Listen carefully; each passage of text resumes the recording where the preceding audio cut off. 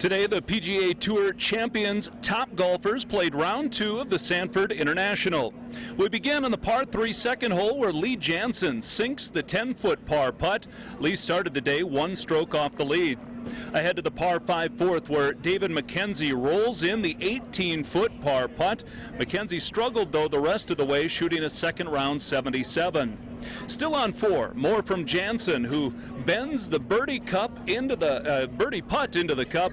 Lee carded a second round 70 and stands seventh overall. A hole later after sticking his tee shot a foot from the cup, Brandt Jobe taps in for birdie. Jobe tallied a second round 67 and is tied for first at 10 under. Finally, after backing away from his putt three times on seven due to the wind, Steve Stricker splits the cup for birdie.